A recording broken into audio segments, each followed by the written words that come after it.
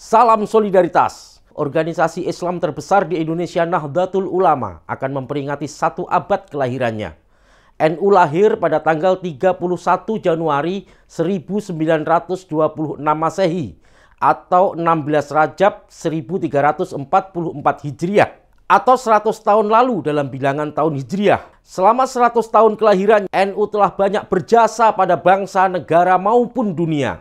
Sejak zaman penjajah, ulama NU secara konsisten melawan penjajah. Hingga Rois Akbar Nahdlatul Ulama, Kiai Haji Hashim Ash'ari dipenjara oleh Jepang. Pada persiapan kemerdekaan, NU turut serta dalam keanggotaan Dokuritsu Zombie Susakai atau BPUPKI. NU melalui Kiai Haji Wahid Hashim juga ikut menjadi panitia 9 dalam panitia persiapan kemerdekaan Indonesia. Kiai Haji Wahid Hashim ikut menyetujui perubahan frasa dalam piagam Jakarta menjadi ketuhanan yang Maha Esa. Sis dan bro, pada saat tentara sekutu masuk ke Surabaya, Kiai Haji Hashim Ash'ari menyerukan resolusi jihad yang mewajibkan seluruh rakyat Indonesia mengusir pasukan sekutu. Seruan ini disambut oleh para santri dengan berbondong-bondong menuju Surabaya hingga terjadi perang 10 November. Di era kemerdekaan, di saat banyak pemberontakan terjadi, mulai dari pemberontakan PKI, DITII, PRRI Pesmersta dan lain-lain,